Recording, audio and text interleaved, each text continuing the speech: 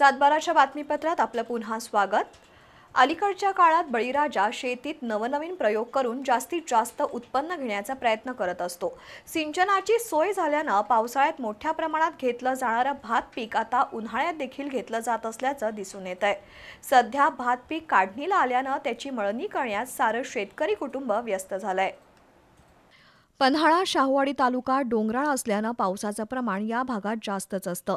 पाण्याचा निचरा होणारी शेतजमीन असल्यानं या परिसरात पावसाळी भात पीक नाचणी भुईमुग ऊस पीक मोठ्या प्रमाणात घेतलं जातं. अलीकडच्या काळात सिंचनाच्या सुविधा झाल्या असून पीक पद्धतीमध्येही नवनवीन प्रयोग केले जात आहेत.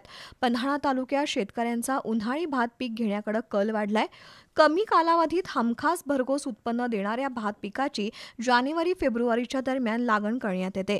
साडेतीन ते चार महिन्यात भाताचं पीक काढणीला येत असल्यानं भात पीक घेतलं जात आहे सध्या भात पीक काढणीला आलंय.